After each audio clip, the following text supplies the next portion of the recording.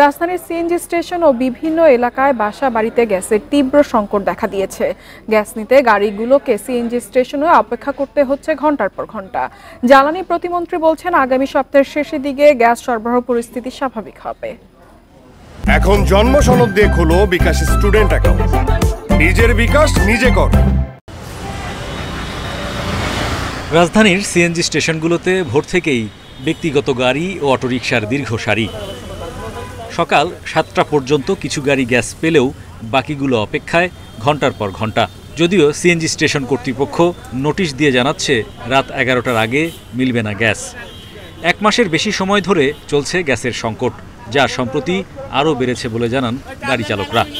সকাল আটটা পনেরোতে লাইনে আসছি এখন বাজে বারোটা এখনও পর্যন্ত লাইনে পৌঁছে দিতে পারি নাই গ্যাসও নিতে পারি নাই অনেক লম্বা লাইন। ভোর ছয়টা বাজে সিরিয়ালে আছি সাতটার দিকে পর্যন্ত পাম্পের সামনে আছি বলছে গ্যাস নাই। এমন করে কি গাড়ি চালানো যাবে? সিএনজি স্টেশনের মতো রাজধানীর বিভিন্ন এলাকায় বাসাবাড়িতেও গ্যাসের সংকট দেখা দিয়েছে। সকাল আটটার পরই কমে যায় গ্যাসের চাপ রান্নায় বাড়ে ভোগান্তি।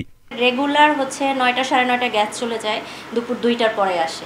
এটা আমাদের গৃহিণীদের জন্য খুবই কষ্টকর কারণ সকালে দেখা যায় যে বাচ্চাদের স্কুল দিয়ে এসে যে নাস্তাটা তৈরি করব সেটাও করতে পারি না আমরা। ইদানিং প্রচুর সংকট যার জন্য বাসা বাড়িতে আমাদের খাওয়া দাওয়া খুবই কষ্টকর। মনে করেন যে সারাদিন খাওয়া দাওয়া না অনেক সময় কিনা হোটেল থেকে কিনা খেতে হয়।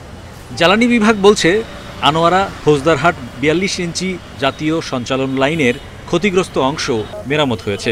কিন্তু সামিটের ভাসমান এলএনজি টার্মিনাল এখনও চালু করা যায়নি। সচল একটি টার্মিনালে জাতীয় গ্রিডে মিলছে মাত্র পঞ্চাশ কোটি ঘনফুট গ্যাস। আবার সিঙ্গাপুরের থেকে আসতেছে লোকজন।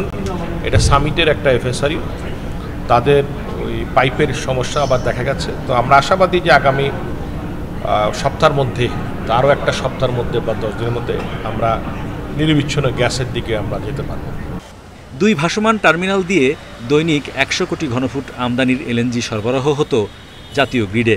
ঘূর্ণিঝড় রিমেলে সামিটের টার্মিনাল ক্ষতিগ্রস্ত হলে এ সরবরাহ অর্ধেকে নেমে আসে। Hari Saha, independent news, Dhaka.